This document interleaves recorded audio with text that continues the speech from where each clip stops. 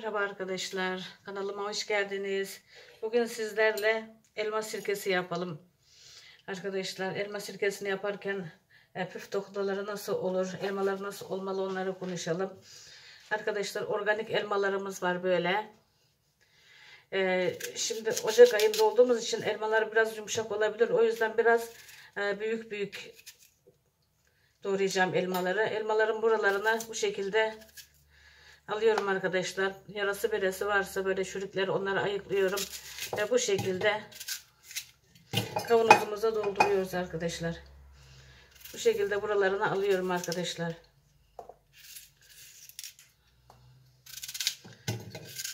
Biraz büyük doğrayalım ki çünkü biraz elmalar yumuşak olursa e, çok erime olur elmalarda.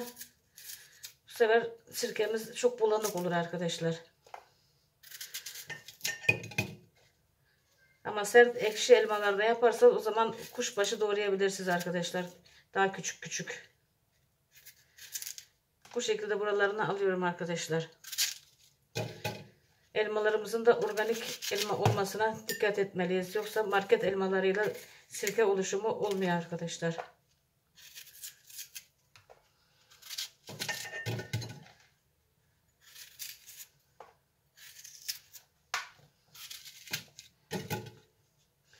Arkadaşlar elmaların bu bereli yerlerini bu şekilde alıyorum arkadaşlar.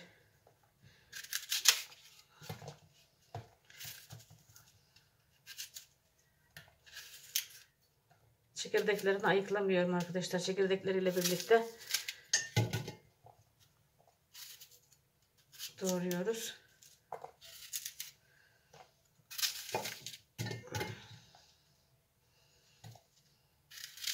Arkadaşlar elmaları bir gün önceden yıkayıp kurutursak daha verimli, daha iyi sonuçlar alabiliriz.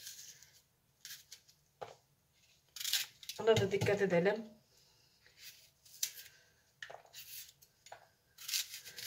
Bu şekilde elmalarımızı cam kavanozlarımıza dolduruyoruz arkadaş. Arkadaşlar çünkü e, cam kavanozda olursa daha iyi oluyor sirkeler. Daha sağlıklı oluyor. Plastiklerde illaki e, Plastik ürünler iyi olmuyor arkadaşlar. Mutlaka cam kavanozları tercih etmelisiniz. Bu şekilde berelerini alıyorum arkadaşlar. 3'e 4'e bölüyorum elmaları. Evet arkadaşlar.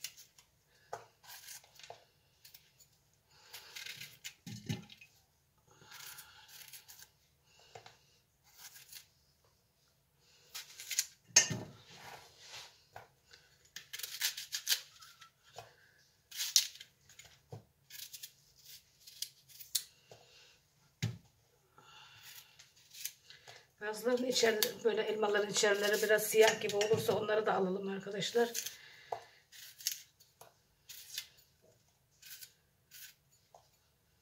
Sonuçta elma sirkelerimizi içiyoruz.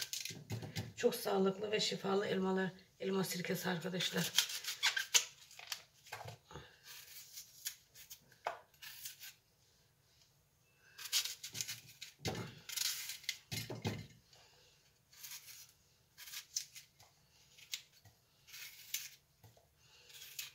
Evet arkadaşlar. Kavanozumuzu yarıya kadar elmayla dolduralım.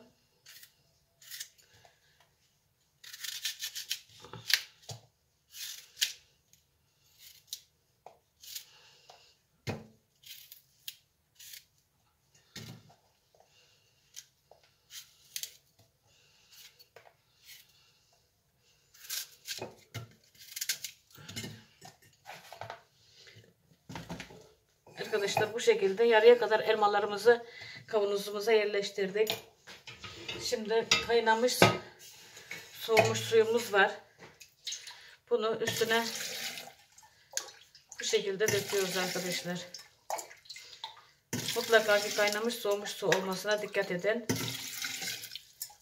Çünkü çeşme sularıyla olmaz arkadaşlar ya da damacana su kullanabilirsiniz.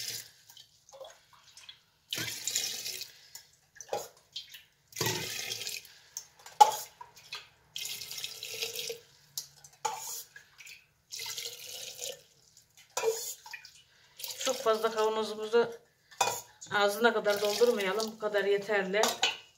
Ee, çünkü taşma riski olur. Karıştıramazsınız. Evet arkadaşlar şimdi e, bunu mayalamak için böyle bir sirke anamız var arkadaşlar. E, bunlar sirke anası. Geçen yıl yapmıştım arkadaşlar. Bunu maya olarak kullanıyoruz. Biraz da nar sirkesi üstüne koyuyorum arkadaşlar. Maya olarak kullanıyorum.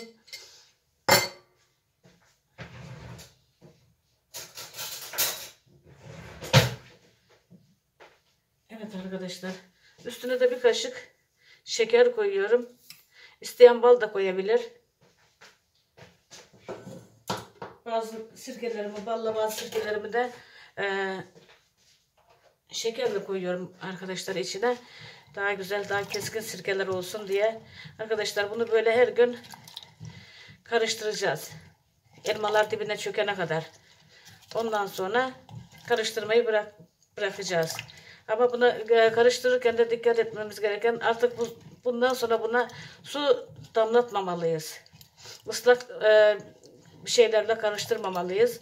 Bu şekilde her gün karıştırıp ağzını sıkıca kapatacağız arkadaş, arkadaşlar bir bezle. Bu şekilde bir bez yardımıyla paket lastiğiyle sıkıştıracağız. Bu bu şekilde olacak arkadaşlar böyle. Ve ben burada tekrar gene yapmıştım daha önceden. Bunlar da var. Yeni yaptım bunları da arkadaşlar. Ee,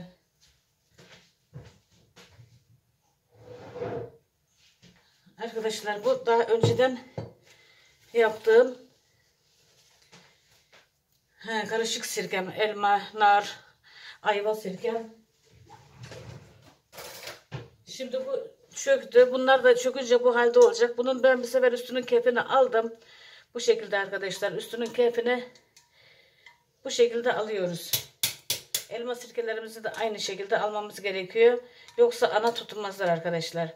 Sağlıklı olmazlar. Bu kefler bir süre sonra e, küfe dönüşür. Küfe dönüştüğünde de sirkeyi atın artık. Çünkü sirke olmaz. Küflen de bir sirke olmaz. Artık dökmek lazım arkadaşlar. Bu şekilde bir çay süzgeci yardımıyla bunun keflerini böyle topar, toparlayıp temizliyoruz arkadaşlar. Birkaç gün sonra tekrar e, bunu bu şekilde alacağım.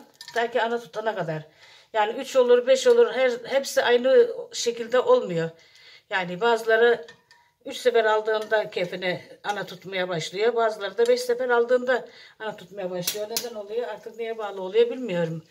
Aynı zamanda yapıyorsun. Aynı şekilde yapıyorsun ama kavanozdan kavanoza fark edebiliyor. Arkadaşlar. Bu şekilde kenarlarını da temizleyelim. Ve bunu bir iki sefer daha böyle tekrarlayacağız arkadaşlar. Ve karanlık bir dolaba atıp orada bekletiyoruz arkadaşlar. Aydınlıkta sirkeler olmuyor. Karanlıkta olması lazım. Bir dolap içine atacaksın mutfakta veya başka bir yerde artık orada ağzını böyle sıkıca kapatıp bu taştığı için burada bak çünkü bunlar da taşabilirler. Bu şekilde arkadaşlar. Beni seyrettiğiniz için teşekkür ederim. Kanalıma abone olursanız mutlu olurum. Hoşçakalın. Görüşmek üzere.